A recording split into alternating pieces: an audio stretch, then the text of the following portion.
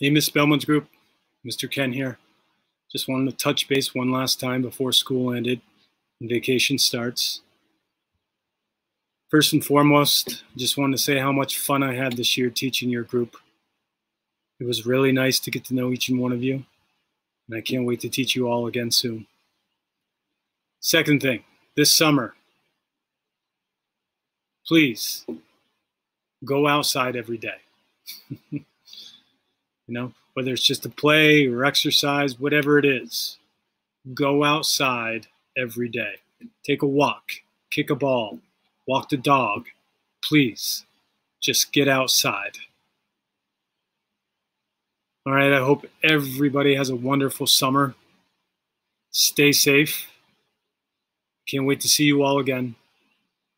Take care. Bye.